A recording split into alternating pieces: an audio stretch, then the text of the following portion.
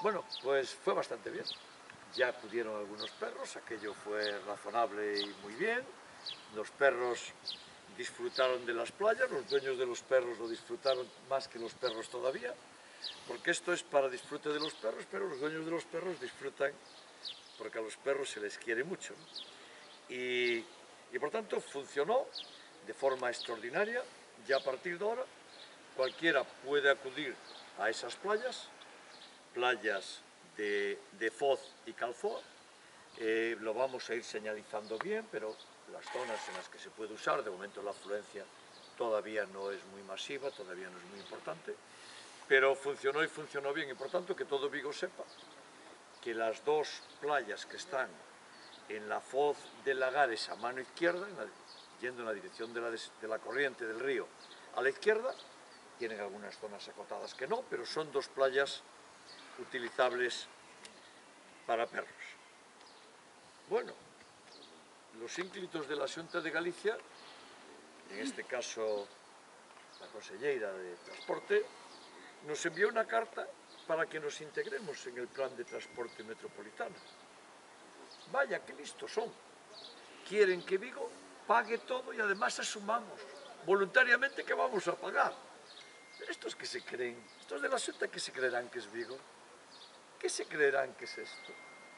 Nos obligan con una ley hecha por Feijó exclusivamente contra Vigo, para que Vigo pague el autobús de todos los que quieran venir a esta ciudad, y ahora nos dicen que lo aceptemos voluntariamente y sonriamos. Estos, estos no están en sus cabales, estos de la Junta no están en sus cabales. ¿eh? No saben lo que dicen. No, no. Yo voy a defender a Vigo en contra de todos aquellos que lo atacan, lo voy a defender con todas las normas legales y políticas a mi alcance vamos a invitar a la comunidad de Montes y utilizando técnicos forestales vamos a iniciar una gran movilización en contra de los incendios. Se incorporarán ellos los 25 efectivos que tenemos en este momento limpiando montes en todo Vigo a través del plan de empleo. Incorporaremos bomberos, incorporaremos comunidades de montes y vamos a, dirigir la acción a toda la población, pero fundamentalmente a la gente joven. Queremos empezar la lucha contra los incendios, queremos empezar la sensibilización porque este es el momento más importante y continuaremos con la limpieza. Lo vamos a hacer en tres acciones. La primera ya está en marcha desde hace meses, es la limpieza de montes, 25 personas trabajando en los montes del Común de Vigo para limpiarlos y estarán limpios. Recuerden ustedes que el año pasado el incendio que fue pavoroso fue muy minorizado, fue muy detenido porque los montes estaban limpios, los montes de Mancomún estaban limpios. Si no hubiéramos tenido una catástrofe de consecuencias incalculables, pero estaban limpios. No así los montes privados, pero sí los montes públicos limpios con personal del ayuntamiento. Por tanto, lo primero es seguir la limpieza.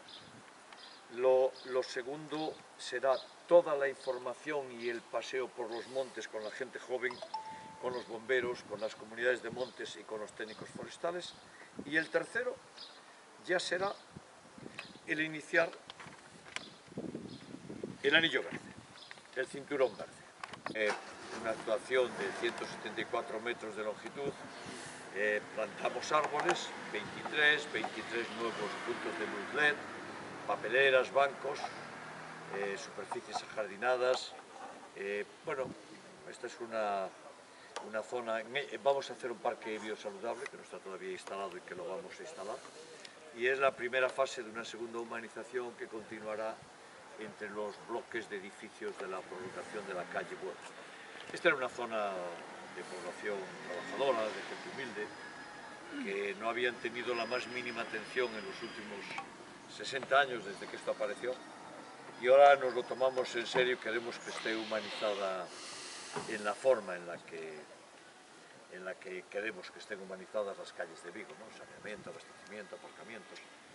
Den ustedes cuenta que esta zona que ven aquí, porque ustedes no conocían cómo era esto, pero aquí antes no había aparcamiento, no había esta zona de esparcimiento, había una zona alta ahí eh, que era una agresión a la estética, pero una agresión a los ciudadanos. Así que ahora inmediatamente empezaremos la segunda fase, tiene zonas público-privadas, como es esta cena, esta acera es una zona, público-privada, razón por la que no la podemos humanizar nosotros. ¿no? Pero la calle está espléndida y deseamos que la disfruten los ciudadanos. Bueno, mañana terminamos el plazo de presentación, el plazo para poder presentar petición de alquileres para evitar desahucios, de suministro energético y de alimentos. Saben ustedes que son dos millones y medio de euros que se dedican a familias necesitadas, a personas necesitadas para estas tres dedicaciones. Hoy y mañana ya no hay cita para ello, todo aquel que quiera que venga, que se venga allí, que lo atendemos, no va a quedar nadie sin atender, pero se acaba el plazo.